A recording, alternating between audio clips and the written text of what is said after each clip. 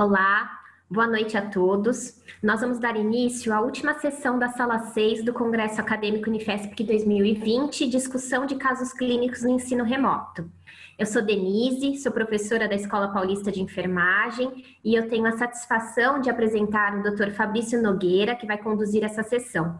O doutor Fabrício, ele é médico cardiologista, ele é doutorando do programa de pós-graduação em cardiologia da Unifesp e ele é o diretor e fundador da plataforma Paciente 360.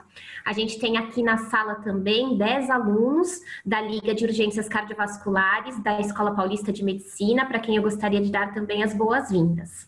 Antes da gente começar a nossa apresentação, gostaria de lembrar para quem está na plataforma do Congresso que vocês podem participar da nossa discussão por meio do chat. Então é só deixar as dúvidas, opiniões, comentários, que aí a gente traz aqui para dentro da sala. Tá bom? Fabrício, é com você. Ok. Muito obrigado, professora Denise. Para mim é uma satisfação, uma honra muito grande poder estar no Congresso aqui com vocês, apresentando um tema que é tão importante, né, que é a discussão de casos clínicos e que está presente aí em todos os cursos da área da saúde como uma das ferramentas mais úteis e mais utilizadas aí para a transmissão de conhecimento para os alunos. Né?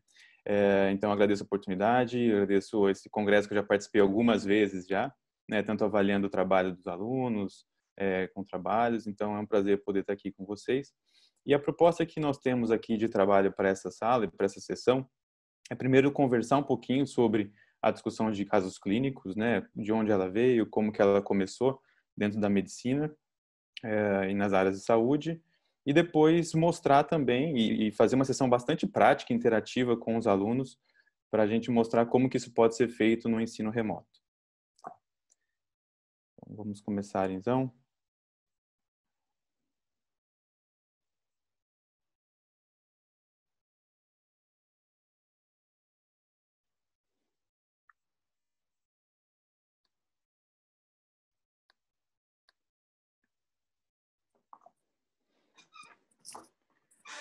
Então, o tema que eu vou discutir aqui é essa questão de como discutir casos clínicos, né, nesse, nesse momento que todos estamos passando aí de distanciamento social e que nós precisamos, de alguma maneira, trazer o, o, o aluno e o paciente para dentro da discussão de uma maneira bastante diferente, né.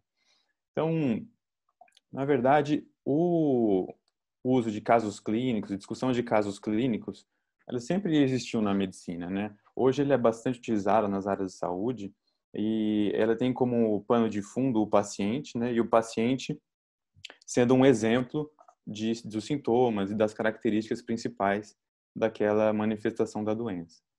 Isso sempre aconteceu e sempre sempre foi, o paciente sempre esteve dentro do processo de ensino-aprendizagem da medicina e das áreas da área da saúde, assim como representado nessa nessa figura de de uma foto que na Idade Média, na verdade, os alunos eles aprendiam vendo o que, que aquele é, profissional estava fazendo, né? Aquela pessoa que era o, o curandeiro ou, ou, aquele que curava as pessoas, o que, que ele fazia? Eles, então eles aprendiam vendo as ações do então professor, né? Do dito professor. Né? Então veja que um paciente ele já está envolvido nesse processo há muito tempo. Uh, em um segundo momento, quando se funda escola de, de medicina em Salerno, na Itália, a, que é dita a primeira escola aí com ensino próximo àquilo que nós fazemos hoje, né? Isso nós estamos falando do século X, né? Então estamos falando de um bom tempo atrás. O que, que acontecia? É, aconteceu que o paciente ele estava inserido no processo, porém o professor começou a ter uma autoridade maior naquele processo. Então os ensinos, os ensinamentos eram passados muito através de livros, os ensinamentos eram passados através de aulas e o professor sempre sendo visto como aquela pessoa que detinha todo o conhecimento e ele era muito respeitado e não existia uma troca muito grande, assim é dito nos, nos, nos artigos que falam um pouco sobre a história do ensino da medicina. Né?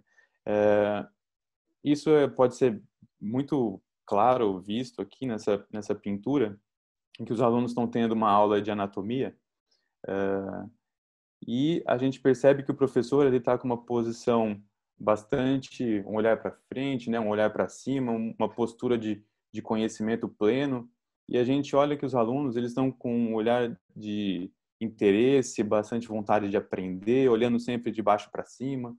Então, essa é uma posição e uma maneira de ensino que perdurou aí por, por quase 100 anos, né? É, e com o esquecimento, no final do século XX, o que acontece, né? Uh, a gente tem uma nova maneira de enxergar o ensino.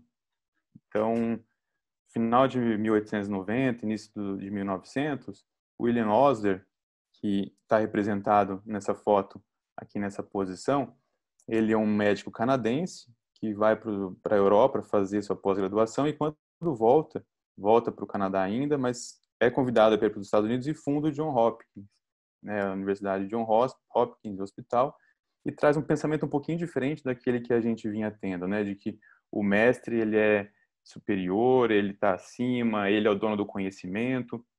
Ele traz um conceito de que o mestre eficiente ele não deve se colocar nas alturas, né, bombeando conhecimento sob alta pressão a, a recipientes passivos. Na verdade, ele deve ser um estudante sênior, ansioso para auxiliar seus colegas mais jovens.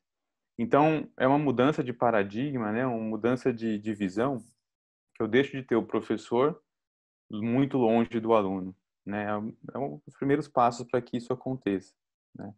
É, ainda se tem muito a questão do professor, a aula, todos sentados assistindo, e o William Osler mesmo traz uma outra maneira de transmitir o conhecimento, que seria com o paciente.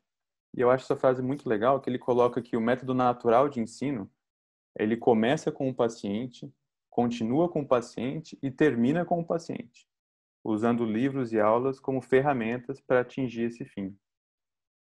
Então, percebam que há uma mudança, né, tanto na postura do professor, que ele chega mais próximo do aluno, como também a maneira como eu transmito conhecimento. Não é mais o livro dono do saber. Eu não, se eu preciso aprender alguma coisa, o ideal é que eu esteja com o paciente. Eu comece com ele, continue e termine com o paciente. No entanto, já lá em 1964, né, então há muito tempo atrás, começa a se ter algumas dificuldades né, em utilizar o paciente sempre como um instrumento de ensino para o aluno. Né?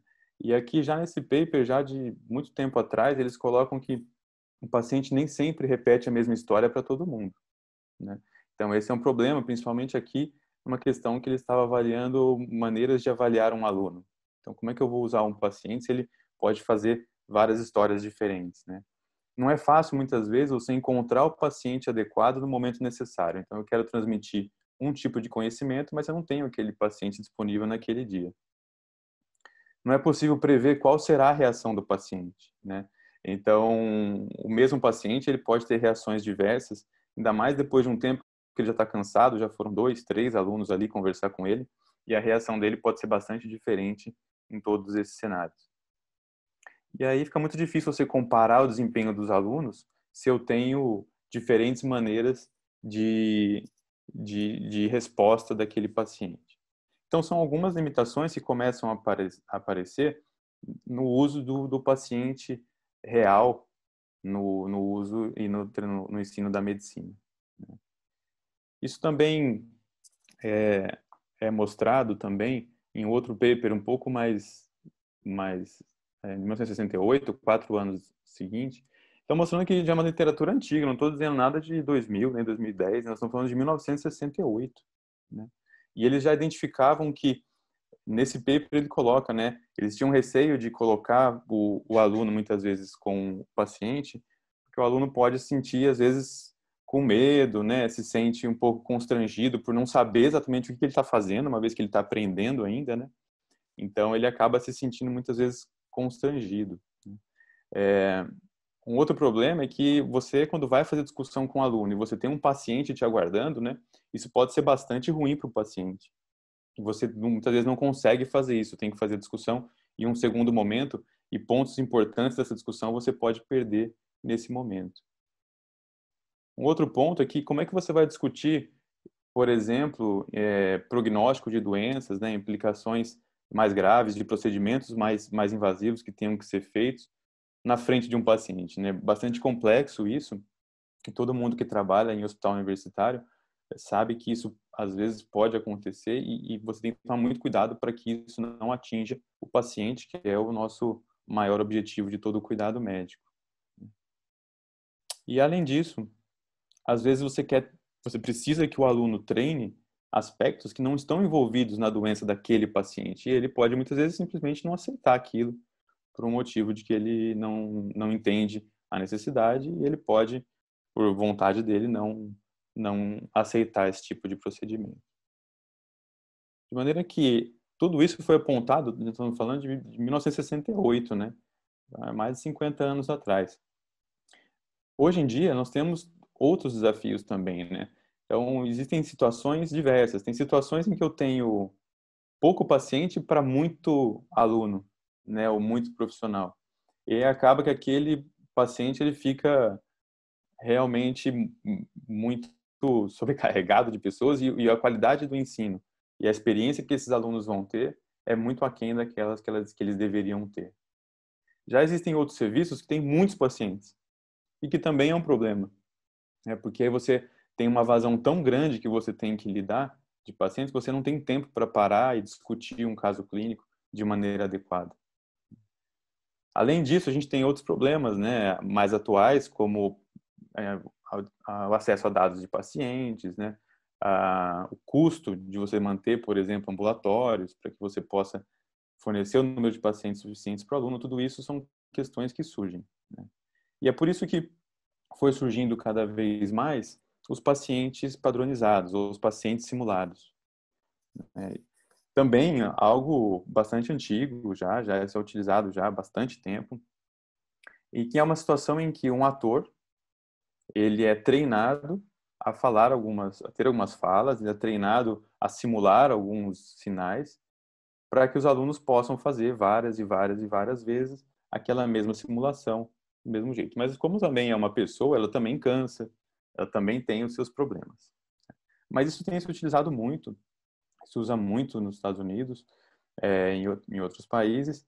O Brasil também tem várias faculdades que utilizam o paciente simulado. E lá o John Hopkins, onde lá o William Osler começou a fazer discussões de caso clínico, também tem lá o centro deles, em que eles fazem um programa todo de paciente simulado é, que pode ser acessado. Vocês vão ver que é um programa bastante forte, bastante utilizado. Tem escolas que têm desde 25 pessoas até 500 é, cadastrados para simular pacientes. Nem sempre são atores, muitas vezes são pessoas normais que vão lá e fazem o treinamento para simular doenças. Né? E outros cenários são doentes mesmo, que, que participam do programa para que os, que os alunos possam uh, identificar as doenças. Então, o paciente com sopro, ele se cadastra e ele fica uh, participando das dinâmicas com os alunos. Então, tem, tem algumas diferenças, tem gente que coloca tudo como tudo a mesma coisa, tem alguma literatura que diferencia o paciente simulado daquele paciente padronizado, mas de maneira geral esse é o objetivo. Agora, lá de 1900 até hoje, né, muita coisa aconteceu. E nós não necessariamente precisaríamos usar é, pessoas reais para isso também, né? Então nós tivemos de lá para cá muita coisa. Nós passamos aí pela segunda revolução industrial, né? É, e, e, com ela um desenvolvimento grande de tecnologia, principalmente impulsionado aí pelas pelas grandes guerras, né? É, em que a tecnologia ela foi crescendo e foi e foi inserindo sendo inserida em cenários de simulação. Então aí vocês têm primeiro dito primeiro simulador de avião, ele está na verdade em cima de um barril de vinho. Então essa foto é de 1908. Depois esses simuladores eles começam a ficar um pouquinho mais próximos do que nós poderíamos pensar que é um simulador. Esses simuladores são usados bastante na época da Segunda Guerra Mundial. E aí se identifica que a simulação é uma, uma ferramenta poderosa para que você possa treinar as pessoas sem expô-las ao risco, né, de, de, de, ter algum problema, algum prejuízo para elas e para os outros. Né.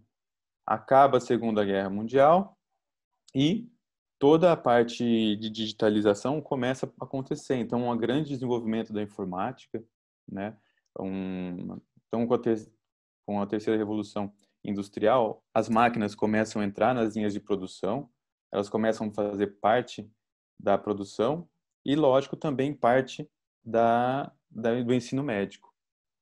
Né? Então, nós temos aqui, nessa foto, o Osmond Lerdow, inicialmente um fabricante de bonecas e que depois começou a fazer os seus simuladores na medicina. Uh, e esses simuladores foram evoluindo, né, de maneira que é, é uma técnica muito utilizada para discussão, principalmente de cenários de urgência e de emergência, né, e muito bem aceita pelos alunos. Por que, ela é tão bem aceita pelos alunos? Porque as gerações elas evoluíram, né? E com a evolução das gerações, a geração Z, que é quem está nas faculdades hoje em dia, né, nos, nas faculdades de graduação, dos ensinos de saúde, de todas as outras faculdades, eles são pessoas que nasceram com imersas na tecnologia, né?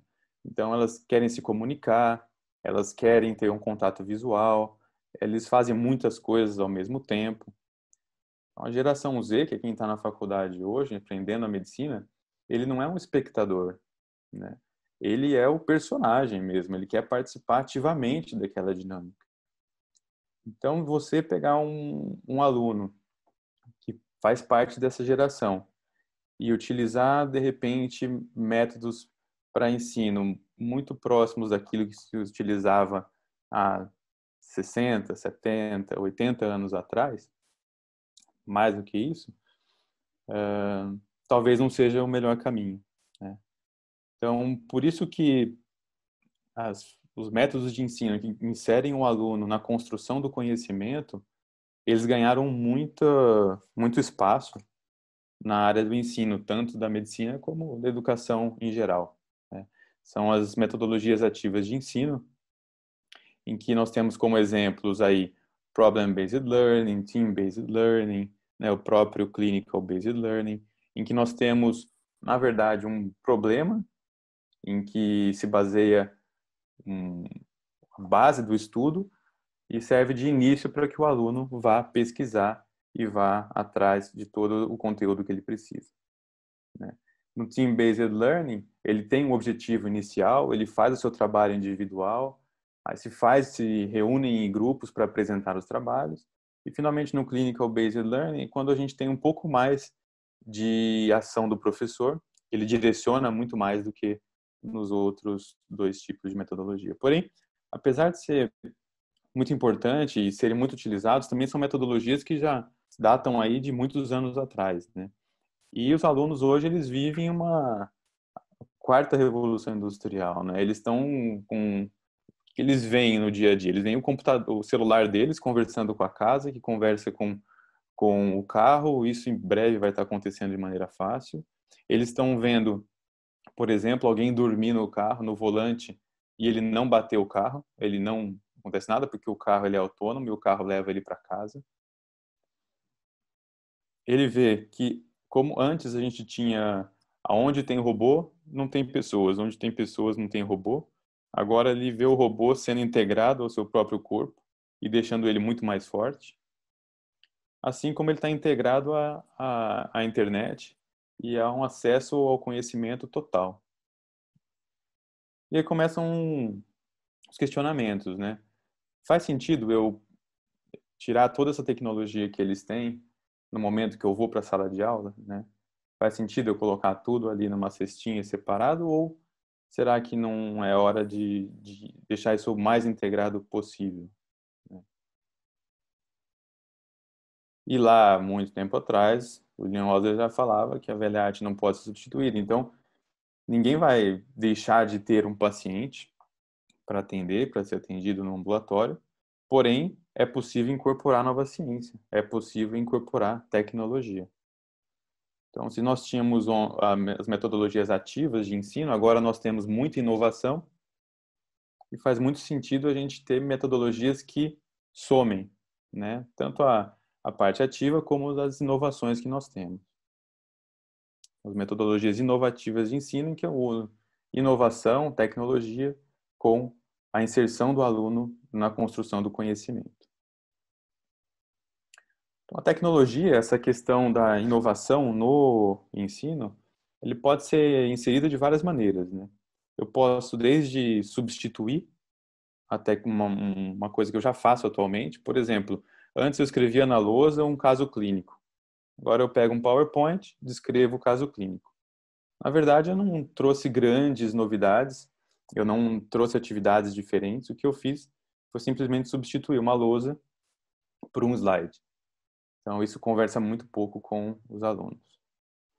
Eu posso ter uma inserção de tecnologia que vai melhorar e vai é, aumentar um pouco das, das minhas capacidades, porém, ela ainda é um substituto àquilo que eu já vinha fazendo.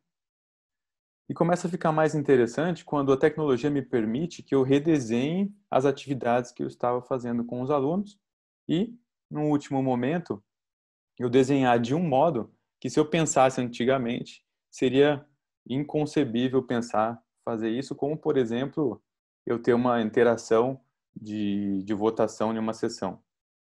É um exemplo de um, de um uso de tecnologia que muda, aumenta muito as minhas possibilidades, de uma maneira que se eu não tivesse isso, eu não conseguiria provavelmente fazer uma votação em tempo real. Isso também é incorporado aos casos clínicos. Né? Então, nós temos desde hoje de por exemplo, equipamentos que você compra da sua casa, vai chegar um, um simulador de um probe para você simular que está fazendo ultrassom em um paciente. Então, eu posso fazer essa simulação de um caso clínico e simulação de, da realização de um exame dentro de casa. Né? Eu posso usar sistemas que usam ilustração, que usam avatares para poder simular situações clínicas. E eu posso ter uma evolução disso que seria o que nós chegamos, que é o paciente 360, que eu não só tenho um caso clínico, mas ele não é mais um avatar, ele é um paciente mesmo, que tem suas queixas. Ah, eu tenho muito cansaço. Eu acho que isso não é normal, né? Então, a paciente ela tem muito cansaço, ela acha que isso não é normal. Então, eu trago o paciente para dentro da sala de aula.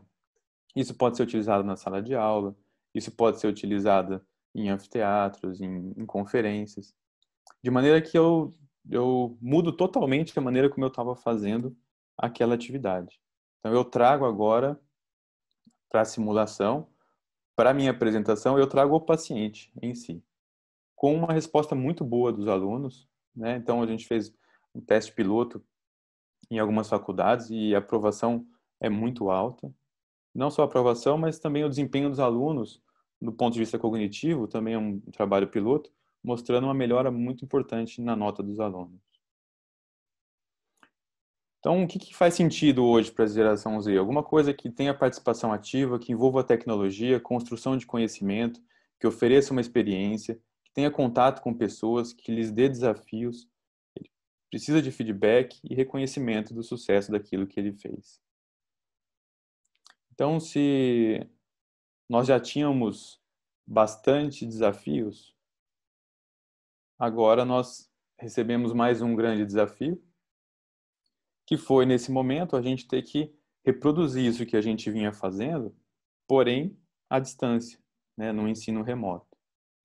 O que pode ser feito com várias ferramentas que já existem há muito tempo, né? Então pode ser feito, por exemplo, através de e-mail, eu posso enviar um caso clínico, pedir para os alunos lerem, estudarem aquele caso clínico e devolverem uma resolução. Eu posso subir essas discussões em ambientes como Moodle. Eu posso utilizar blogs para fazer a discussão, para apresentar os casos clínicos. Eu posso utilizar redes sociais, né, em que eu tenho aqueles stories. Quem nunca se deparou com stories perguntando se você faria ou não faria tal coisa, que diagnóstico é aquele, todo mundo que é da área de saúde com certeza se depara com esses stories a gente se deparou com uma série de, de ferramentas que podem nos ajudar. Então, por exemplo, as ferramentas do Google, tanto o Classroom como o Google Meet, que permitem uma interação em tempo real, permitem a colaboração em documentos. Né? Uma, uma ferramenta que eu gosto bastante de, de, de utilizar é o Zoom, em que a gente tem salas simultâneas em que eu separo os alunos para discussão. Assim como ferramentas de engajamento, né, como enquetes, como Kahoot, né, que a gente pode utilizar, Socrates. Mas nada disso me traz a experiência que eu tenho o paciente. São ferramentas que me conectam com o aluno, mas ela não traz o paciente, aquele paciente simulado que a gente estava falando, ele não vem. E vem já antes de coronavírus e qualquer situação de distanciamento social maior, já um conceito que foi é, definido em uma convenção em 2016 de simulação da telesimulação, que seria esse processo do qual você tem recursos de telecomunicação e você faz a simulação é, online, seja de modo assíncrono, seja de modo síncrono, porém a telesimulação ela já, já vem sendo discutida há pelo menos quatro anos. E agora, com o distanciamento social, sem dúvida ela ganha mais força. Consiste nada mais do que eu, enquanto professor, eu faço a discussão, eu faço o controle do meu simulador, enquanto o aluno ele faz a, a interação com o professor, seja ela online, seja ela feita no segundo momento. A telesimulação também pode ser feita, por exemplo, em que eu tenho uma sala com manequim, um grupo fazendo uma dinâmica e o aluno fica assistindo da sua casa e ele pode fazer suas inserções quando ele achar necessário. Então, esse é um conceito novo, né, frente a tudo aquilo que a gente mostrou, mas que permite que a gente tenha uma espécie de, de máquina do tempo aqui, teletransporte, né, em que eu tenho, por exemplo, a paciente que a gente mostrou ali no começo e eu vou atender junto com os alunos essa paciente. Depois que eu tenho a paciente, eu me teletransporto ali para assistir o ecocardiograma sendo realizado nessa paciente. E uma máquina do tempo que eu vejo como essa paciente evoluiu depois da consulta e depois dos procedimentos. Tudo isso sendo monitorado pelos professores, em que ele sabe quem começou, quem não começou, a nota de cada aluno.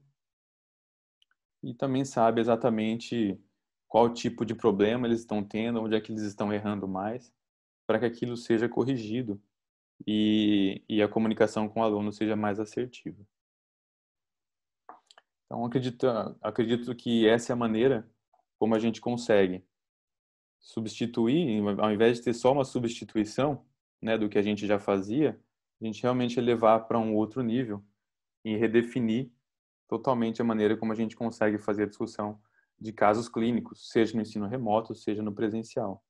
Lógico que esse é um trabalho muito grande, de uma equipe enorme, né? Então, é um projeto que começamos eu e mais dois colegas, dois colegas médicos, Dr. Manuel Canezinho, Dr. Rodrigo Gonçalves, e estamos aí batalhando para cada vez mais a gente poder trazer ferramentas que tornem o ensino mais próximo daquilo que é a geração atual precisa. Né? Então, essa é a primeira parte que eu gostaria de compartilhar com vocês. E vou preparar aqui para a gente começar a fazer, então, a, a simulação. Nós temos 10 alunos da Liga de Cardiologia para a gente fazer uma dinâmica e mostrar como essa telesimulação ela pode acontecer no ambiente remoto.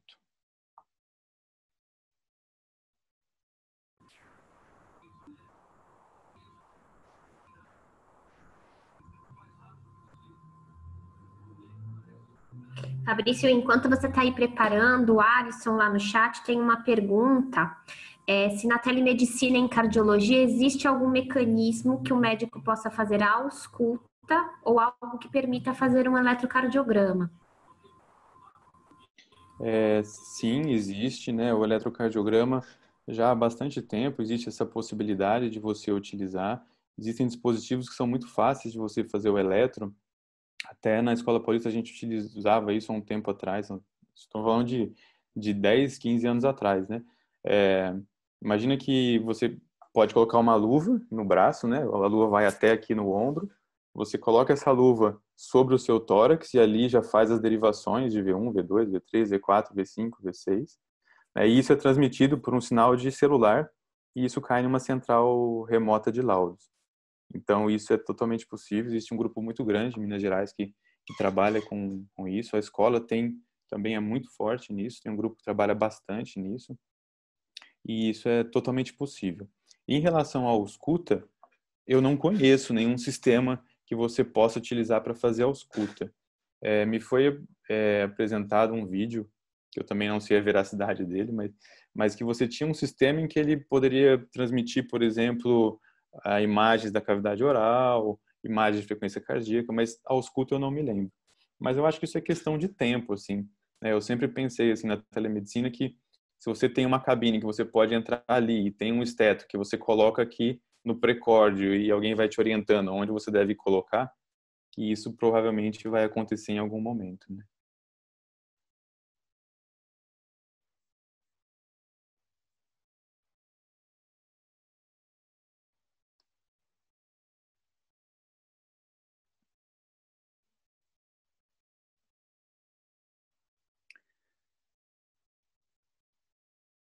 Bom, então nós vamos começar. Então, podemos começar, Denise? Podemos sim.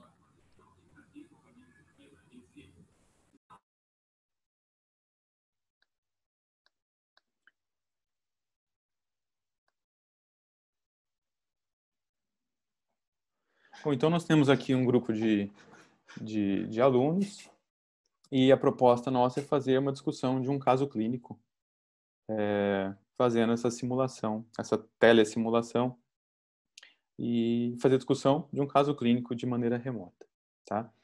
Então, inicialmente eu vou apresentar o caso a vocês. É, esse paciente, ele veio aqui no consultório, ele pediu para para marcar, ele pediu para encaixar aqui porque ele tava não estava passando bem.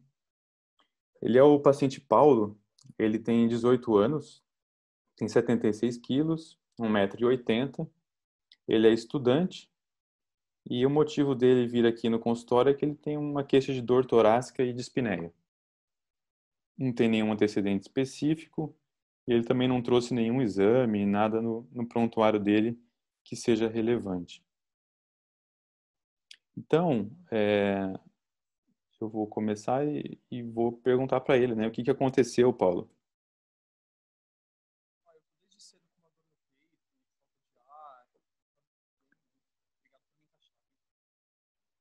Tem problema não, Paulo. E agora eu abro para os alunos. Vocês têm alguma pergunta para o Paulo? Querem saber alguma coisa dele?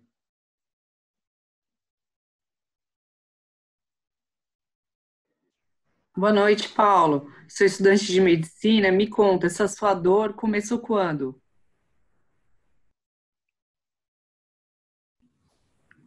Paulo, essa dor, como que é essa dor? E quando que ela começou?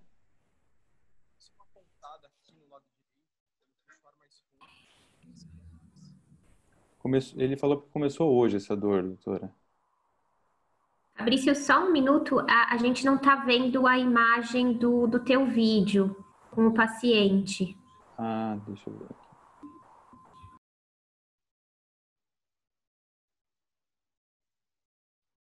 Perdão. Já vou compartilhar aqui.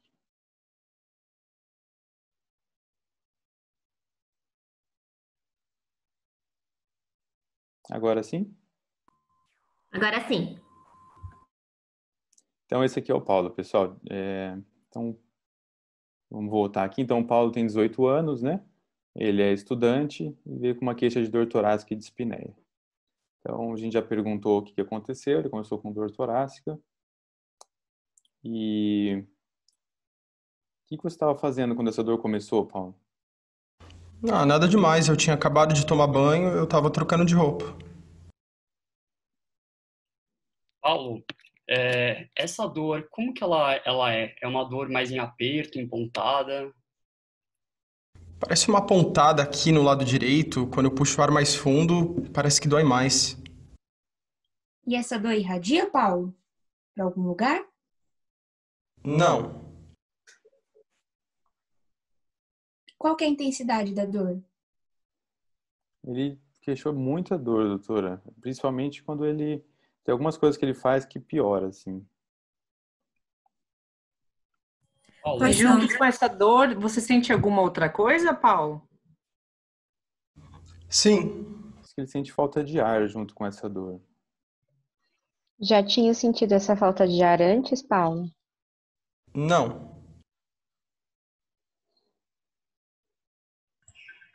E você sente essa fal falta de ar mais e essa dor em quais momentos? Piora. Quando eu puxo o ar, parece que tá entrando alguma coisa no meu peito. Paulo, essa falta de ar e a dor, elas pioram com o esforço? Não. Paulo, você apresentou febre, algum sintoma nos últimos dias? Ficou gripado? Tem febre? Tem, tem gripe, Paulo? Não tenho. Nem nos últimos dias, nas últimas semanas? Não. Não. Tem alguma coisa que tem alguma faz essa dor melhorar? Ele só queixou que ela piora quando respira, mas não tem nada que melhora a dor, doutora. Ela não piora Essa- quando tem. E essa dor é constante? Sim. Essa, Essa dor migra para algum lugar ou fica só no meio do peito? Parece uma pontada aqui no lado direito. Quando eu puxo o ar mais fundo, parece que dói mais. Então, é, alguém poderia resumir para a gente o que, que aconteceu com o Paulo até aqui, essa história do Paulo? Natália, você poderia resumir para a gente a história do Paulo, por favor? Sim, eu posso resumir sim. O Paulo começou com uma dor torácica, sem irradiação, de forte intensidade, é, em característica de pontada na parte direita do tórax, no tórax direito. E ele diz que piora quando inspira. Muito bom. Então, acho que a doença está bem caracterizada, né? Ela, a, a queixa dele, na verdade, está bem caracterizada, mas a gente poderia perguntar outras coisas para o Paulo para saber se ele tem alguma coisa que pode aumentar o risco de uma ou outra doença, né? É, o que a gente poderia aí perguntar para ele? Se no caso ele tem alguma doença crônica? Não, não tenho não. Tem algum alguém na família que já teve algum problema cardíaco? A minha avó tem hipertensão. Acho que é só. Seus pais não têm nada, são saudáveis. Não. Paulo, você fuma ou bebe? Não, não fumo não.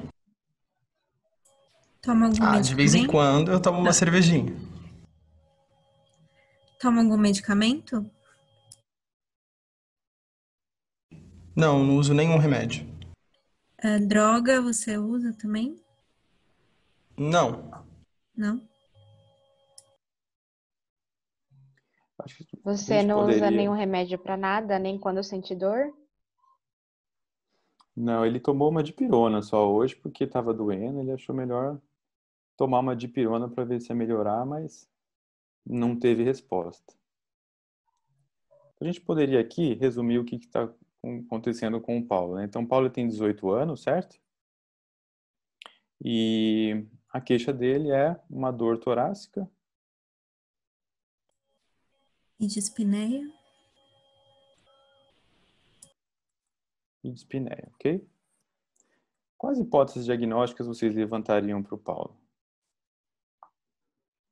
Pneumotórax espontâneo? Então, um pneumotórax, Pericardite? pericardite. O que que falaria a favor de pneumotórax espontâneo? O que que fala a favor? Falaria, falaria a favor o, o indivíduo jovem, alto, magro, é, o que é dor súbita. Ok, pericar... ok, então pneumotórax é uma, uma- uma possibilidade. Pericardite, o que que fala a favor de pericardite? Ele pode ter se exposto a algum, algum vírus sem ter sido é, sintomático e o vírus provocou essa, essa inflamação. Ok. Além disso, a característica da dor, né? Ele fala que a dor piora quando ele Ah, respira, Uhum. né? Uma dor ventilatória dependente, é um paciente jovem. Por mais que ele disse que não teve nenhum quadro infeccioso recente, nada disso, mas acho que sem dúvida é uma, uma hipótese diagnóstica que a gente tem que considerar. O que mais que a gente Poderia ser poderia ansiedade? Acho que sim. Já viu alguém com ansiedade sentindo dor no peito? Sim. Então, com Mais certeza, tem. transtorno de ansiedade pode ser. Poderia ser Tem dor alguma coisa que fala contra transtorno de ansiedade? Talvez muito agudo, né? Ele estava bem, e foi hoje, de repente, ele começou uma dor muito forte. Então, geralmente, a gente poderia pensar nisso, uma pessoa que já é mais ansiosa, uma pessoa que tem um quadro mais de, de, de repente, às vezes, distimia, um paciente, né? Ele não, não, pelo menos é uma coisa bem aguda que ele fala pra gente, mas sem dúvida é uma coisa que a gente tem que considerar. Professor, a gente podia pensar em dor muscular? Claro, com certeza. A gente podia ver se ele faz alguma atividade física, né? Porque para ele ter uma dor muscular, ele, sei lá, ele pode ter, ter feito algum esforço maior e tudo. Ah, vamos ver com ele aqui. Paulo, você faz alguma atividade física? Faço sim. Eu ando de bike e skate. Bike, skate. Tá, mas você teve algum trauma, alguma pancada, bateu o peito? Não, nunca bati. Ok. Ok, continua sendo uma possibilidade, né? O que mais? Ah, pelo fato de ele não ter febre e não ter piora com esforço, mas ter uma dor à respiração, podia ser, né? Dor muscular podia. Sim, com certeza. Embolia pulmonar, talvez, mas não diria pela ventilador dependente, mas por ser súbito, dispneia. Excelente, muito bom. Então, esse é um diagnóstico que a gente não pode deixar de pensar, né, de considerar em pacientes com dispneia súbita, dor torácica súbita, né? Então, é um diagnóstico muito importante que a gente tem que sempre considerar nesse paciente, sem dúvida. Muito bom. O que é importante agora, gente, com essas hipóteses aqui que levantadas no, na anamnese, a gente vá para o exame físico e vá procurar alguma coisa que sugira alguma desses diagnósticos aqui, né? É, então, para pneumotórax espontâneo, a gente poderia, pode auscultar o pulmão, né, para é, ver a expansibilidade do tórax, avaliar se tem algum enfisema subcutâneo, ver se tem, aqui ele não parece, ele tá, não está assim, para ter um hipertensivo, mas desvio de traqueia poderia ter. Para pericardite, procurar ali um atrito pericárdico, certo? Ver se ele, se a gente consegue auscultar um atrito pericárdico. Para ansiedade, a princípio, o exame físico é para estar normal. Dor muscular, então, a palpação, né? A gente tentar ver se a palpação ele, ele apresenta algum sintoma. E para tromboembolismo pulmonar, procurar sinais, né? No membros inferiores de trombose, alguma coisa nesse sentido. Vamos para o exame físico, então, do Paulo. Senhor, você pensaria numa fratura espontânea também de costela, algo assim? Porque dói para inspirar, não? Não sei. Se ele tiver algum É problema. um paciente ósseo. muito jovem, né? Para É. a gente pensar nisso, né? Eu acho que Hum. sem trauma, sem nada, acho muito pouco provável. Perfeito. Tá bom? Então, nós estamos com o Paulo agora aqui na sala de exames e eu já percebo que ele está um pouco taquipneico, vocês não acham? Eu acho que a frequência respiratória dele. Ah, desculpa, vocês não estão vendo. Perdão. Então, estamos com o Paulo aqui. O que vocês acham da frequência respiratória dele? Ele está um pouco taquipneico, certo? Sim. Sim. O que vocês querem saber, então, do exame físico do Paulo? Os sinais vitais dele. Ok. Frequência Qual a cardíaca, respiratória. Ele está com uma frequência cardíaca agora de 96. A pressão arterial, a gente vai aferir. Tá 108 por 64. A frequência respiratória dele está em 26. E a saturação de oxigênio em 92.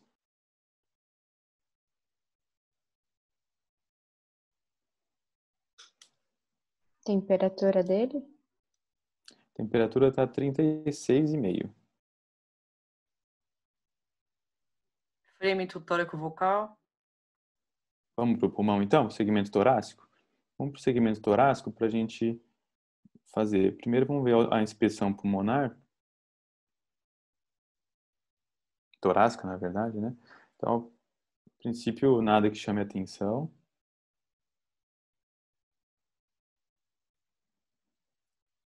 E ele tem um frame tóraco-vocal diminuído à direita.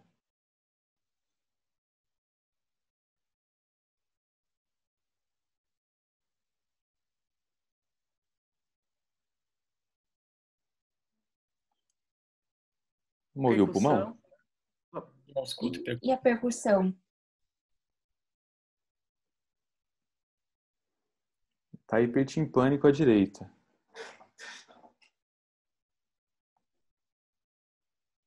Vamos escutar então.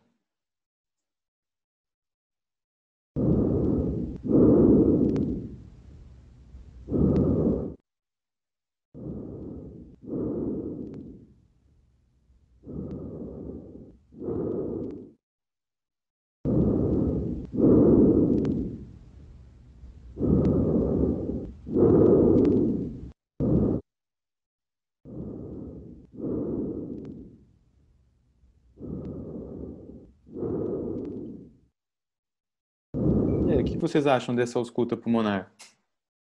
O murmúrio vesicular está um pouco diminuído à direita. E ele está com um pouco de crepitação fina também. Perfeito. Chama mais atenção mesmo realmente essa diminuição ali, né, do, do murmúrio à, à direita.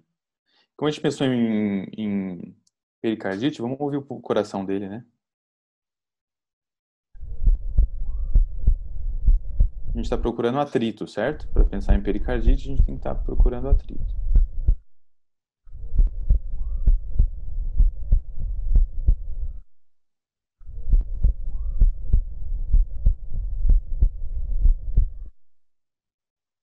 O que vocês acharam da ausculta cardíaca dele? As bulhas estavam rítmicas? Rítmicas. Estavam normofonéticas? Não Dois Tem algum sopro? Não. sem sopro. Sim. Muito bom.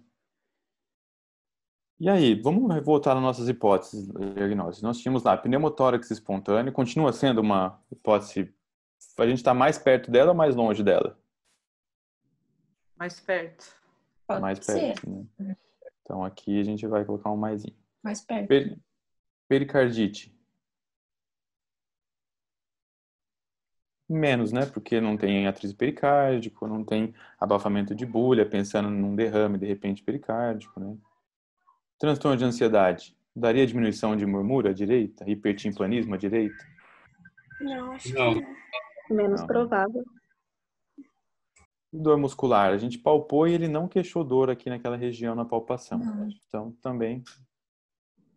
E não tinha nenhum edema de membro inferior. E, e o, o tromboembolismo pulmonar daria uma, uma hipertimpanismo, uma percussão? Não. Realmente não. Então, o que é importante é o seguinte: antes de pedir qualquer exame, pessoal, a gente tem que fazer uma história bem feita, né? construir algumas possibilidades diagnósticas e aí para o exame físico já tentando direcionar isso, né? para que essa investigação complementar ela seja bem assertiva em cima daquilo que você ainda está com dúvida. Né? Então, pensando aqui que nós temos pericardite ainda com uma ponta de dúvida e com pneumotórax com uma causa bem provável, o que a gente poderia fazer para investigar o quadro clínico do, do Paulo? Raio-X. Raio-X de tórax. Um eletro. Eletro e raio-x de tórax, muito bom. Eu vou fazer um eletrocardiograma. O aparelho está aqui perto, a gente já faz o eletro mais rapidinho, tá bom? E aqui no eletrocardiograma, então vocês são alunos do terceiro ano, certo? Então é, eu vou mostrar aqui os achados para vocês. Então, o eletrocardiograma, a gente tem esse registro da atividade elétrica do coração em um papel. Então, eu tenho uma linha de tempo que está correndo aqui. E eu tenho os eventos cardíacos. Eu tenho a contração, despolarização do átrio, a despolarização do ventrículo e a repolarização. Quando eu tenho pericardite, o que eu esperaria numa pericardite? Esperaria que essa, essa partinha aqui tivesse para cima, tivesse um supra de ST, é uma alteração que ele não tem. Poderia ter infra de PR, que é quando essa, esse segmento está abaixo da linha de base, que ele também não tem. Né? Então, um achado que a gente frequentemente vê no, vê no TEP, na, no tromboembolismo pulmonar, é taquicardia sinusal, que ele também não tem. Então, acho que pericardite realmente é um diagnóstico que é menos provável. E o raio-x de tórax, né, que vocês solicitaram.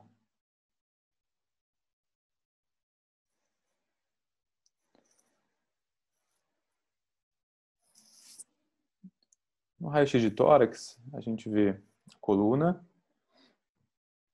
a gente vê a área cardíaca de tamanho normal, porém a gente consegue observar que no pulmão direito, que é onde a gente achou as alterações de exame físico, ele tem aqui uma área que não tem parênquima pulmonar, né? Uma área grande aqui que não tem nenhum parênquima pulmonar. O pulmão ele está pequenininho aqui. E tudo isso aqui é um acúmulo de ar entre as pleuras, que pode acontecer de forma espontânea, pode acontecer por iatrogenia, pode em procedimentos né, que são realizados, pode acontecer por sequelas de infecções pulmonares prévias, como tuberculose, pacientes com enfisema. Esses pacientes todos podem fazer pneumotórax. E é o caso aqui que acabou acontecendo com o Paulo. Né? Então, o diagnóstico do Paulo realmente aqui é de um pneumotórax. Só pois uma não. perguntinha. Esse ponto mais escuro que está perto da trama vascular esquerda. Uhum. O que que isso pode ser? Aqui? É. Na verdade, isso aqui não pode dizer que isso é um, um uma continuidade do pneumotórax aqui. É um achado inespecífico. Tá? Acho que não teria nenhum achado específico aqui. Tá, obrigada. Tá. Então, no raio-x a gente encontrou retração. O que, o que a gente pulmonar. tem que olhar aqui é o que está bem claro. Aqui nós temos, então, que tratar esse pneumotórax, certo? E para esses pacientes com pneumotórax desse tamanho, quando o pneumotórax é laminar, ele é muito pequenininho, você pode até observar isso, mas no caso como esse, Paulo, não tem jeito, você vai ter que ir lá para o hospital para fazer um, um procedimento, para fazer a drenagem do tórax. Então, tem que encaminhar você lá para o hospital, ok? Nossa, mas eu vou ter que operar o pulmão? Eu tô correndo risco? Por que que isso aconteceu? Então aqui tem um vídeo que ele vai mostrar, né? Esse é um, é um vídeo que é, é da literatura, é do, publicado no New England, em que a gente está demonstrando o que vai ser feito com o Paulo para fazer a drenagem do pneumotórax, né? Então, é feito primeiro uma analgesia, né, depois, aí está sendo feita uma punção, ele já vê que tem um pouco de derrame pleural também, né? É feita uma incisão e é divulsionado com a pinça de tecido muscular, subcutâneo, até que você atinja a cavidade pleural. Uma vez que foi atingido, é colocado um dreno e esse dreno ele vai ser utilizado para tirar todo esse ar que está aprisionado no pulmão do Paulo.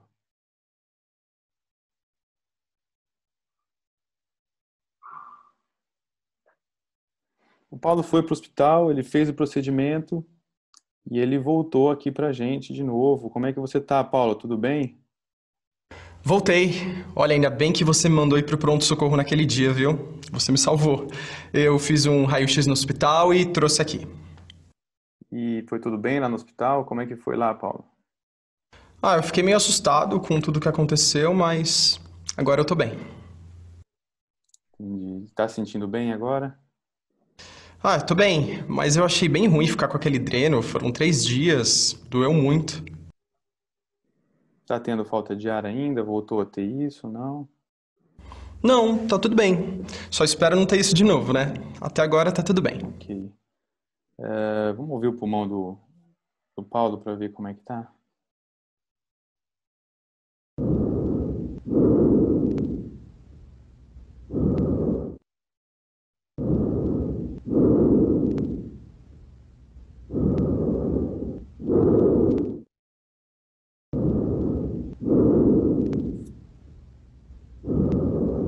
Vocês acham? Tá igual? Melhorou?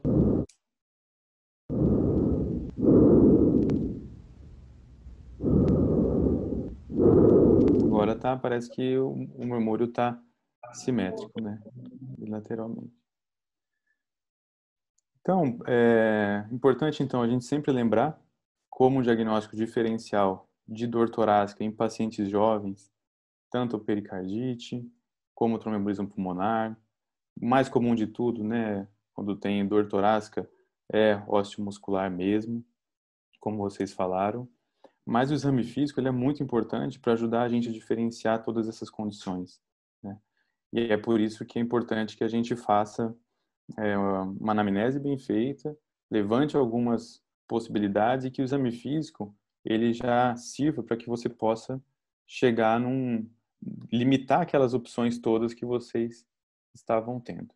O Paulo foi bem, ele ficou bem, não teve nenhuma complicação. Ele, por ter tido já uma vez, ele tem um risco grande de ter novamente, né, o pneumotórax, por mais que seja um pneumotórax espontâneo. Mas ele não, não teve novamente. E nós estamos aqui com a nossa próxima paciente, que acabou de chegar, e ela está aguardando a gente já no consultório.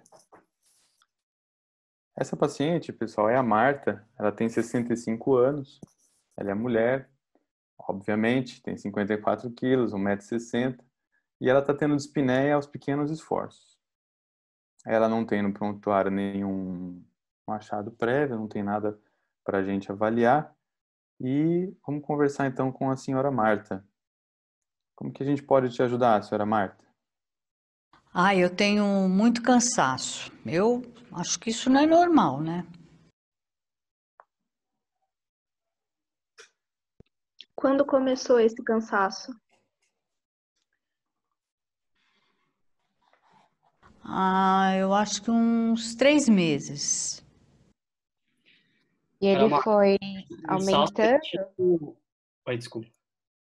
Ele começou pouquinho, aí foi aumentando conforme a senhora fazia as atividades diárias? Sim. Senhora Marta, esse cansaço ele é uma falta de ar mesmo? Não é bem falta de ar, é mais um cansaço mesmo. Às vezes o paciente traz uma dificuldade para a gente, né? A gente pergunta e, e ela falou que é um cansaço mesmo, né? Então a comunicação às vezes tem que ser bem assertiva, né? E, e essa é uma, uma dificuldade que a gente encontra todo dia na clínica, né?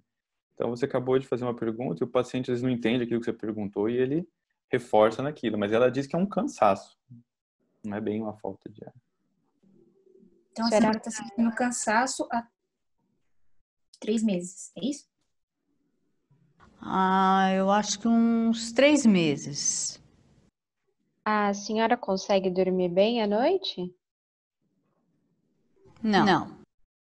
A senhora precisa levantar, a hora que a senhora deita, a senhora tem que levantar por causa de, desse cansaço que a senhora falou? Ou a senhora consegue dormir por um tempo e acorda com esse cansaço, por causa desse cansaço? Ela diz que ela mais acorda com cansaço. Ela deita, fica um pouquinho lá e tem que acordar, tem que levantar porque não consegue ficar deitado. E tem que dormir com vários travesseiros para conseguir dormir, ou não? Tem.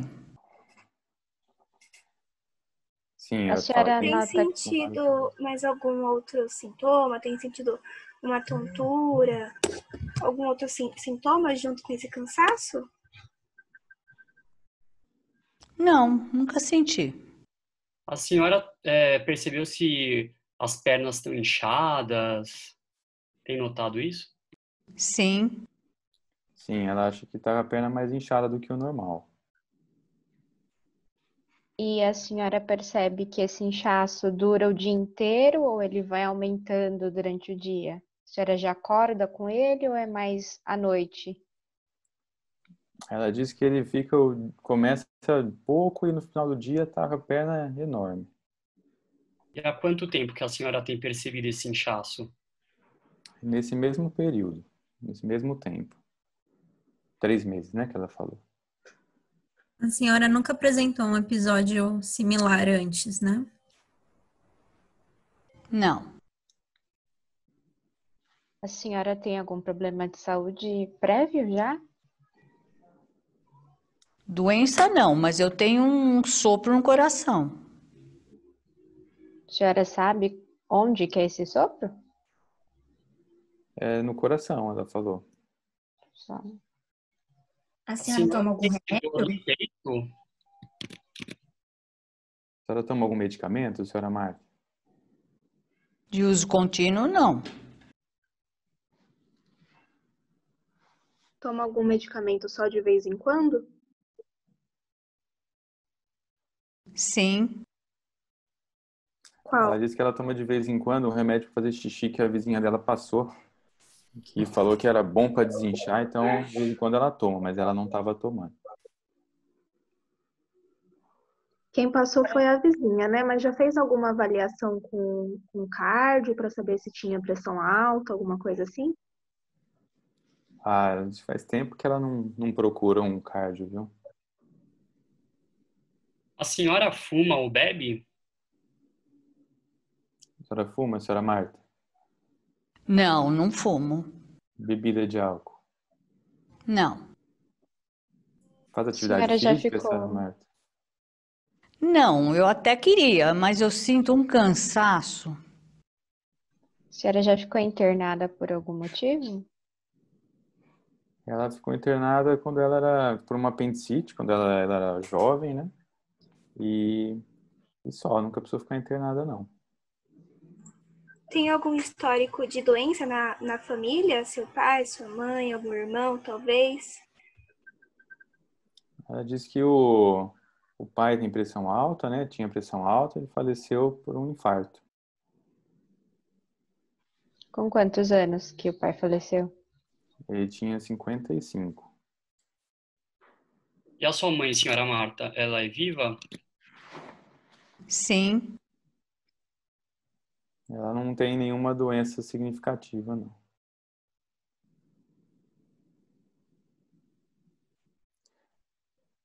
Vamos lá, baseado no que a gente conversou aqui, olha, vamos falar então um pouco sobre a senhora Marta. Qual que é a idade da senhora Marta? 65? 65. 65 anos e ela está com queixa de dispneia, certo? Aos Ou pequenos cansaço. Então, Então, isso, é- isso é bastante comple- é complexo, né? E isso traz um- uma dificuldade para a gente, às vezes, porque a gente quer que o paciente fale exatamente aquilo que está no livro, né?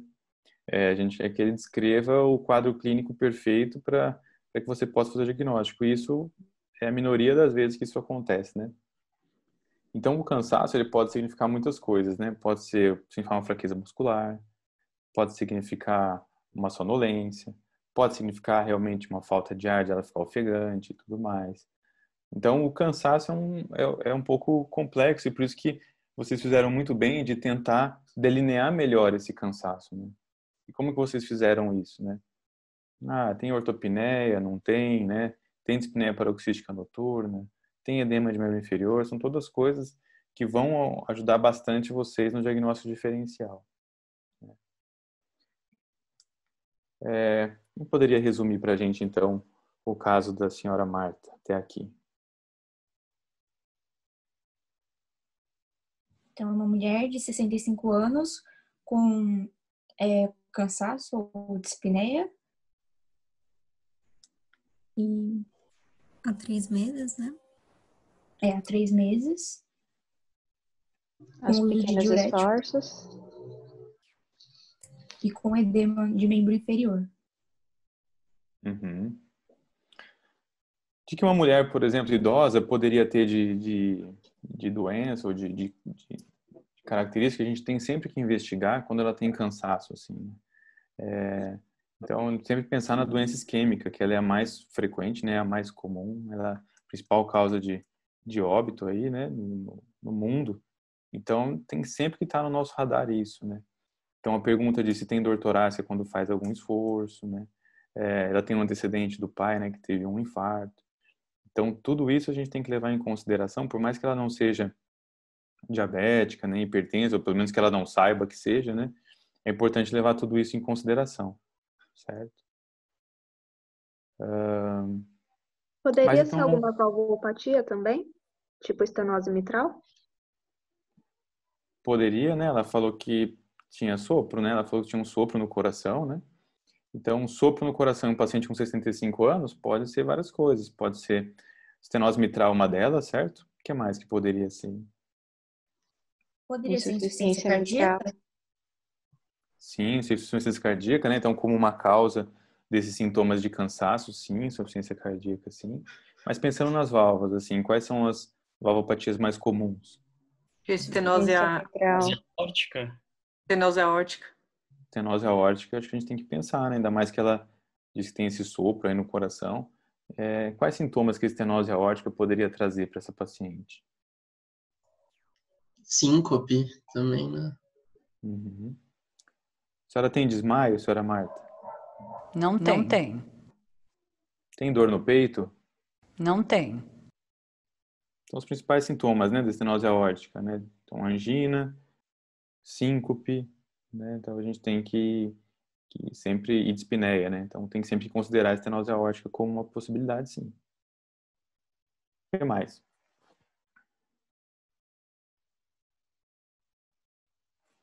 Insuficiência mitral, né? Poderia ser também uma repercussão. Então, estenose mitral, insuficiência mitral, estenose aórtica, mesmo insuficiência aórtica. Tudo isso poderia dar sopro no coração, é, além de doenças congênitas e tudo mais.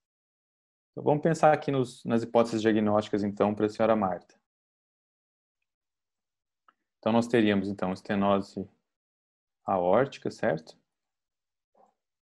Estenose mitral, o que mais? Insuficiência cardíaca, que a doutora falou. O que mais que a gente poderia pensar? Nesse Insuficiência caso, mitral. é, insuficiência mitral, esse caso que ela diz que ela tem. que ela acorda com cansaço à noite e me traz a ideia de edema pulmonar por causa da insuficiência cardíaca. Uhum. Então, vou colocar um edema pulmonar aqui, mas já pensando linkado aqui na insuficiência cardíaca, certo? A gente está muito no coração aqui, tudo bem. Estenose aórtica, ela tem sopro, estenose mitral, insuficiência cardíaca, insuficiência mitral. Ok. Mas que mais? Quais outros diagnósticos diferenciais a gente poderia pensar num caso como a senhora Marta? Professor, poderia ser doença renal com edema?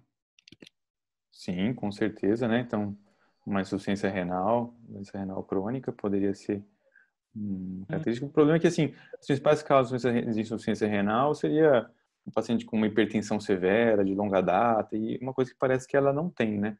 Ou nefropatia diabética, que ela também não tem diabetes. Então, não tem nada assim que, que chame a atenção, mas poderia ser, lógico. Poderia ser alguma coisa no pulmão? Isso, então vamos para a parte pulmonar. O que, que no pulmão poderia dar esses sintomas da senhora Marta? Pneumonia? Pneumonia. Porém, ela não tinha febre, né? Pelo menos não relatou pra gente. Parece que mais pneumonia é uma é uma hipótese. O que mais? DPOC? DPOC, Apesar que ela não fuma, né? ela não fuma, então bem pouco provável, né? Uma fibrose pulmonar? Fibrose pulmonar. Pode ser uma fibrose idiopática, né? Se ela não tiver nada que tenha desencadeado. Uhum. Que mais? Poderia pensar em tumor também? Tumor aonde? Em um câncer de pulmão, por exemplo? Poderia. Porém, ela teria mais sintomas constitucionais, né? De perda de peso, é, alguma história que pudesse sugerir ah, se tivesse uma compressão, alguma coisa, um edema aqui de face, alguma coisa assim. É, acho menos provável, né? O principal fator de risco para câncer, que é o tabagismo, ela não tem. E ela tem um Poderia sopro no coração. Oi? Poderia ser doença reumática? Alguma doença reumatológica? Uma doença reumatológica, uma valvopatia reumática ou uma doença reumatológica? Uma artrite, você diz, uma artrite, uma febre reumática que evoluiu com um problema valvar, seria isso? Isso. Então, Tromboembolismo pulmonar. febre reumática, né? O que acontece com febre reumática? Quem tem febre reumática? Quem tem muita infecção de garganta, né? E quem tem uma infecção de garganta de repetição, muitas vezes maltratada, né? A senhora tinha muita infecção de garganta, senhora Marta, quando criança? Ah, eu tinha, mas nunca tratava, porque lá onde eu morava não tinha um médico direito. Entendi. Tromboembolismo pulmonar. A gente pode pensar em âmbito portal, assim, uma hepatopatia. Uhum. Só voltando aqui no tromboembolismo pulmonar, seria um pouco uma coisa um pouco mais aguda, né?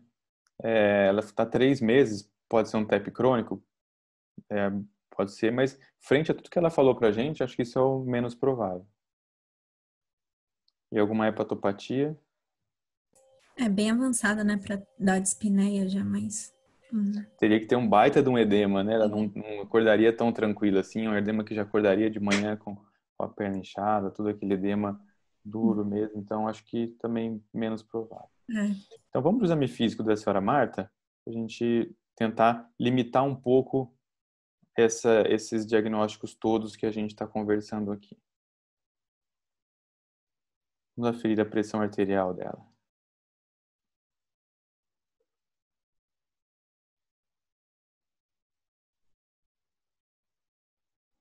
Cento e trinta e dois por setenta e quatro de pressão arterial. Ela tem uma frequência cardíaca de oitenta e quatro e uma frequência respiratória de 14. Ok? Vamos, vamos ouvir o coração para a gente tentar entender esse sopro.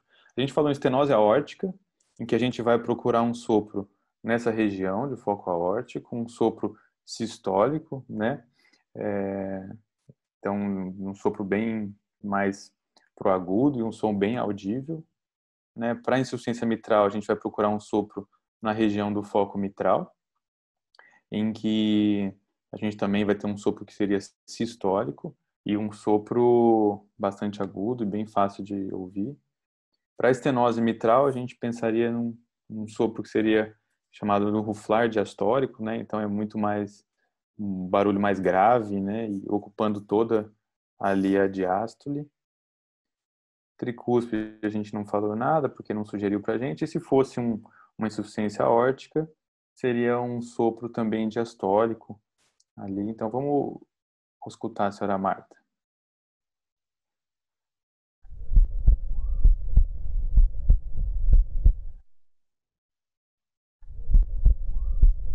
Foco aórtico, não escutei nada que chame atenção.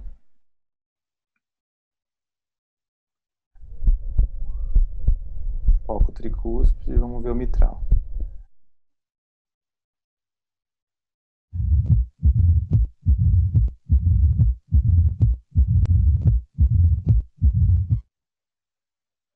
Vocês perceberam que no foco mitral ela tem esse som grave, né, ocupando toda a diástole, que é um ruflar diastólico. Então, quando a válvula abre, ela está fechada, ela está estenosada, então o fluxo tem dificuldade de passar naquela válvula. Isso aí faz um turbilhonamento ali no sangue e você escuta esse barulho. Então, esse é o escuta que a gente tem de pacientes que têm estenose mitral. Então, o exame físico foi muito importante para a gente avaliar esse sopro e o pulmonar vai ser importante para saber se ela está com gesto ou não, certo? Se ela tem alguma repercussão disso no pulmão. Então vamos ouvir o pulmão.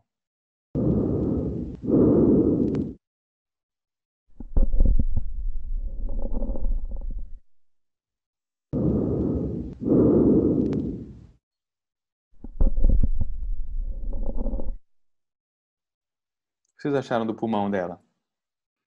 Estetores em base. Então está criptando nas bases, então ela está congesta, né?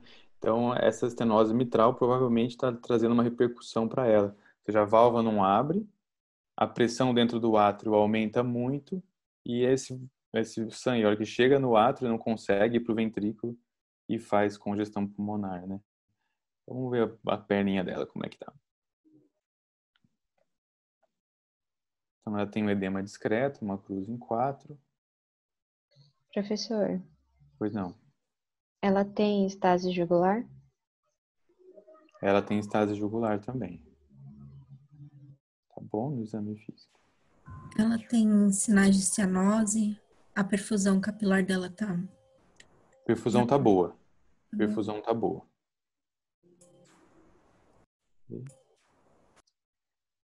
Então a gente vai investigar, né? Então a investigação clínica agora é o principal diagnóstico nosso. Então olha a importância de você fazer uma anamnese bem feita, um exame físico bem feito, para você fazer agora uma investigação diagnóstica bem assertiva, né? É, ela precisa de tomografia de tórax? Provavelmente não, né? Ela Não. precisa a gente entender se ela tem realmente essa estenose mitral e qual a repercussão dela, né? Então eu vou pedir um eletrocardiograma para ela. O eletrocardiograma, ela, ele tem um sinal aqui, olha, que essa ondinha aqui, P, que é onde tem o átrio que está sendo ativado, ela está muito grande. Então, quando tem isso, eu tenho um aumento do átrio esquerdo. Então, imagina que a válvula mitral está fechada, o sangue não consegue escoar, ele fica preso e esse átrio começa a aumentar.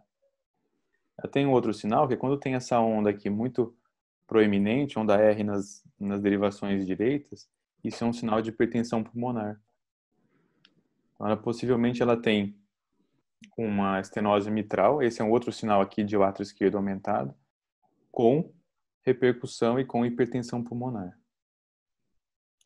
Bem condizente o elétrico com o que a gente está imaginando do quadro clínico que ela apresentou para a gente. Né? E nós temos Professor, eu ia perguntar se ela tem é, dor articular no caso de febre reumática. Deixa eu vamos perguntar para ela aqui. A senhora tem tem dor na articulação? Tem, tenho. Ela tem.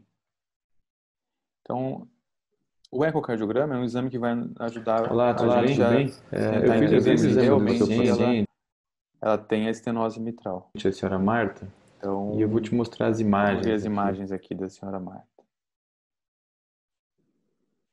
Aqui, pessoal, esse aqui é o exame de um ecocardiograma, tá? A imagem de um ecocardiograma. Aqui é o átrio esquerdo. Ah, então, aqui é o tórax do paciente. O ultrassom entra, passa no ventrículo direito primeiro, ventrículo esquerdo, átrio esquerdo e aorta, tá? Então, essa válvula aqui que está abrindo e fechando é a válvula aórtica e essa aqui é a válvula mitral.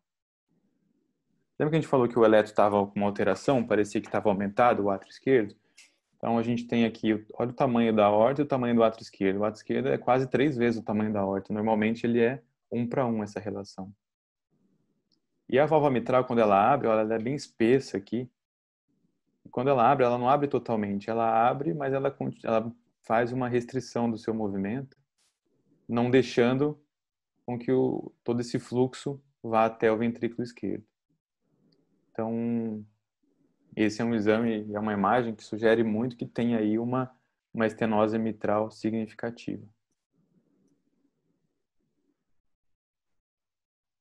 Então, corroborando com o que a gente estava imaginando, né? Então, um paciente com sintomas, com estenose mitral importante e quadro clínico como que ela tem, ela tem, precisa fazer um procedimento para desobstruir essa válvula. Né? Então, diurético ela pode começar a usar, então a gente começa um diurético de alça, uma furosemida, para poder tirar esse líquido, mas é uma paciente que vai ter que ser encaminhada para fazer um tratamento dessa, dessa estenose. Senhora Marta, vou ter que tratar essa, esse probleminha da válvula do sopro, tá bom? Do coração. Toma esse medicamento e vai, e, e esse aqui é um encaminhamento para que a senhora vá lá no, no, no hospital e faça o procedimento, tá? Ah, pode deixar, eu vou tomar tudo certinho. A senhora Marta foi. Pode falar, pode falar. A gente poderia encaminhar ela também para o reumatologista? Poderia fazer um acompanhamento conjunto, ainda mais que ela tenha esse tipo de sintoma, sim. Lembrar que ela com valvopatia, ela vai ter que fazer né, tratamento profilático com antibiótico, ela tem uma valvopatia ativa aí, né? E para ela melhorar os sintomas, ela teria que realmente fazer o, o tratamento de, de abertura da válvula, né? É, como ela tem no eco, não era uma válvula tão calcificada, então optou-se por fazer um procedimento percutâneo, de colocar um balão, esse balão é insuflado e a válvula é aberta através desse procedimento. Ela fez o procedimento, a senhora Marta, e ela voltou aqui para o nosso consultório para fazer o segmento. Como é que a senhora está, senhora Marta? Ah, depois que eu fiz o procedimento, eu melhorei muito, viu? Oh, tá até mais animada. Tá sentindo alguma coisa agora? Não, não sinto nada. O cansaço melhorou bastante. Está tomando os medicamentos? Estou sim, estou tomando todos os medicamentos que você me passou. A gente tinha passado furosemida para ela, né? Então tem que avaliar se ela precisa ainda ou não, né? Muitas vezes o paciente depois que faz a, a valvoplastia, ele melhora o fluxo e ele não precisa. Aí você pode entrar com medicamentos para aliviar a pressão no lado esquerdo, como beta-bloqueadores, né? E principalmente fazer a profilaxia de, de novas infecções com um antibiótico. Né? Tá tendo tosse, uh, uma coisa assim, não? Não, não tive mais tosse daquele jeito. Então, sempre lembrar. Oi? O edema persiste? O edema dela? O edema dela melhorou, viu, doutora? Melhorou o edema. Vamos ver o pulmão. A gente vê se ainda está crepitando.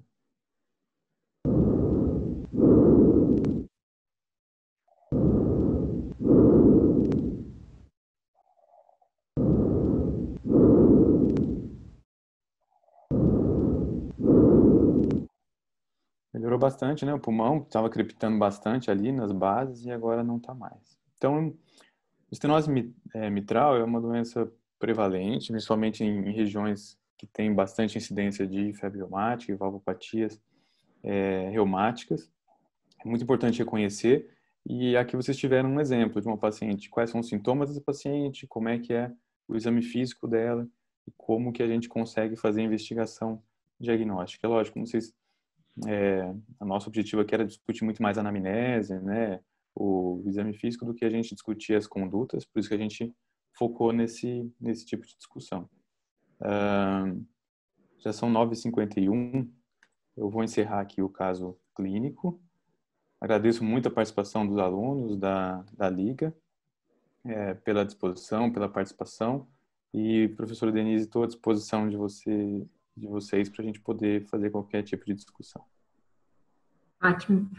Parabéns, Fabrício, pela apresentação. É, o chat foi bem movimentado.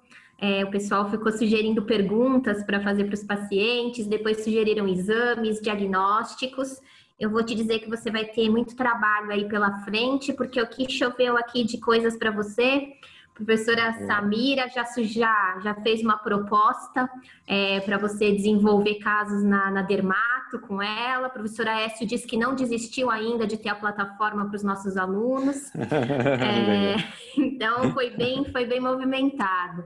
É, surgiu uma questão da professora Lucia, que é da, da Escola Paulista de Enfermagem, é, com a ideia se, se haveria possibilidade da gente desenvolver casos na plataforma que pudessem ser discutidos de forma multidisciplinar, onde os estudantes de vários cursos pudessem fazer o, o, a discussão integrada, cada um, lógico, com, com a sua vertente, mas integrando as, as, as disciplinas e as profissões. E surgiram bastante perguntas também é, relacionado mais à parte operacional da, da, da, plataforma, né? Então, se esses casos, como esses casos são elaborados antes de, de, de ficarem na plataforma? É, teve pergunta se era só caso da cardio, aí eu já respondo que não, porque eu sei uhum. que, que não. Né? Mas eu acho que seria legal você explicar um pouquinho como é que funciona essa questão da plataforma para pensando nessa operacionalização mesmo. Tá ok. É, assim, em relação à discussão de casos multidisciplinares, é, sem dúvida, eu acho que a plataforma está aí para isso. Ela tem muitos recursos. Esse desenvolvimento todo é de um grupo nosso, é um grupo brasileiro, então está na nossa mão. É possível colocar novas ferramentas, colocar novos dispositivos, novas discussões ali dentro, e tudo isso de, de, depende de, de a gente realmente conseguir integrar tudo isso. É, eu acho que o objetivo da plataforma é exatamente esse, é a gente entender que ninguém trabalha sozinho, tentar entender que as, as disciplinas elas estão integradas, as profissões estão integradas e nesse momento não seria diferente. Então, sem dúvida, uma discussão integrada com alunos, por exemplo, de várias várias disciplinas e, e, e várias várias profissões e vários cursos seria muito muito útil e, e a plataforma se presta a isso. É, em relação ao desenvolvimento dos casos, né, existe uma, uma sequência que a gente desenvolveu. Essa é uma plataforma que já está está desenvolvendo há quatro anos, né? Então ela foi muito trabalho para ela chegar. Isso que vocês estão vendo hoje, ela já foi muito diferente e, e realmente é um, esse resultado que vocês estão vendo hoje já é uma evolução muito grande da, da plataforma. É, o que a gente faz atualmente é definir com as universidades parceiras quais casos para ela aquilo é um caso interessante, é um caso importante para o currículo dela.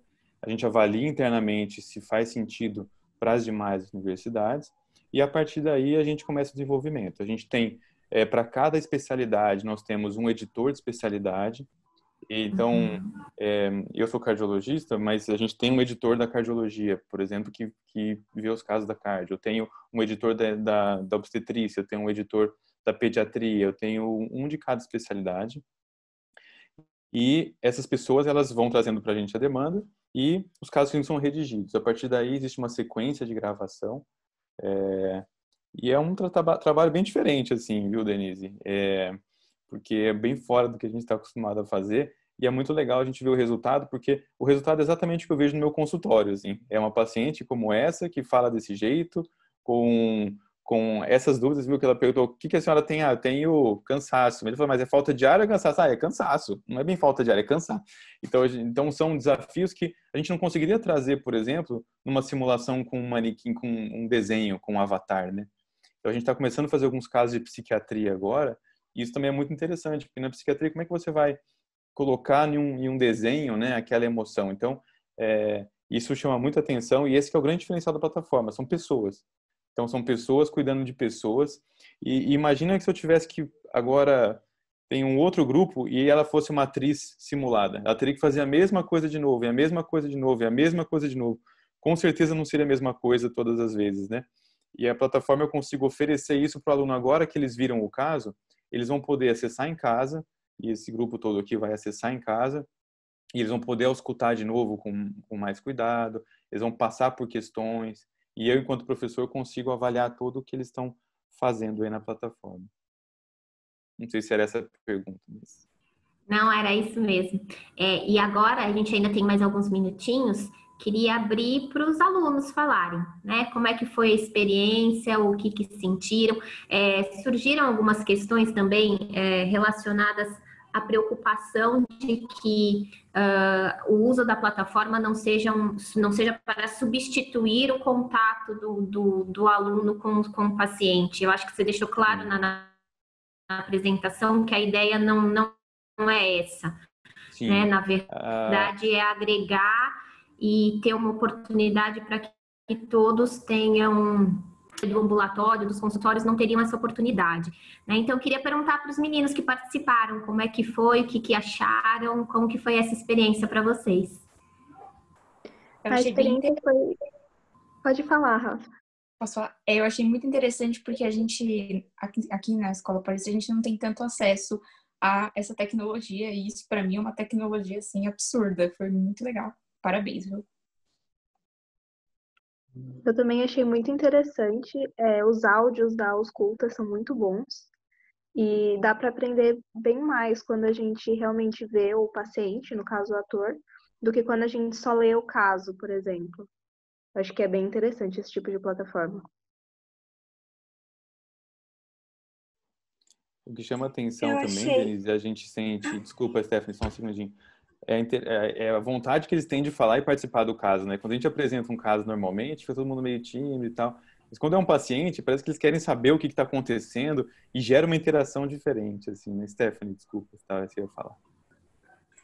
Não, tudo bem, era, era muito isso que eu ia falar também. É, isso não vai substituir realmente o contato com o paciente, mas isso ajuda muito com relação ao visual a gente precisa ter, a gente precisa ver o paciente, saber como que ele tá. E a gente não vai estar tá sempre podendo ir no hospital ver o paciente. Essa plataforma eu posso usar em casa, por exemplo, estudando. Então, isso permite com que eu aprenda mais quais perguntinhas fazer para direcionar o caso, para depois, para me preparar melhor, para depois entrar em contato com o paciente. Isso foi o que eu achei assim muito, muito bom nessa plataforma. Parabéns. Legal, eu gostei bastante dessa plataforma porque é em relação à simulação, né, que a gente tem na faculdade com os bonecos, às vezes você olha para o boneco, mas não sabe o que falar para ele porque realmente ele não está apresentando nada. Então, se você vê realmente um paciente, mesmo sendo um autor, é uma pessoa que tem reações, que fala direito, assim, o que está sentindo, que e a gente pode interagir melhor, né? Porque é uma, uma pessoa, não é um boneco, que você sabe que a outra pessoa vai estar tá falando. Eu achei bem legal essa experiência, gostei muito, professor, parabéns. E muito da demanda que veio do, do paciente 360 foi essa, porque a gente tinha casos clínicos que a gente fazia em manequim de insuficiência cardíaca, por exemplo, ou de infarto. E aí ficava o instrutor, ah, que você sente? Ah, eu sinto dor no peito. Vamos ver lá. Então o instrutor ficava meio fazendo aquela coisa por trás, que não é um paciente, né? Não é o paciente. Então, no paciente crônico, a gente não tinha nada para utilizar. E é o paciente que a gente mais precisa ver, porque é o que a gente mais vai ver. Né? A gente vai ver paciente de urgência? Vai mas o crônico que a gente mais vai ver, né? Então, muito disso que a Belisa colocou é, é o mesmo de onde veio o gás aí para a gente poder fazer e a demanda e, o, e, a lacuna que a gente vinha, via na simulação, né?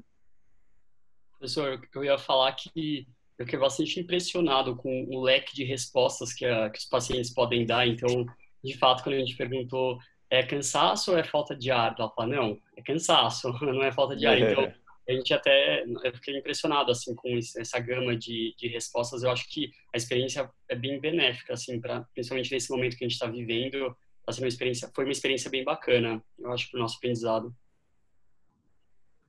que bom pessoal infelizmente deu nosso horário passou bem rapidinho essa esse fim de de congresso, mas eu agradeço a participação de todos vocês, agradeço o Fabrício, é, acho que foi uma sessão que fecha com chave de ouro o nosso, o nosso congresso.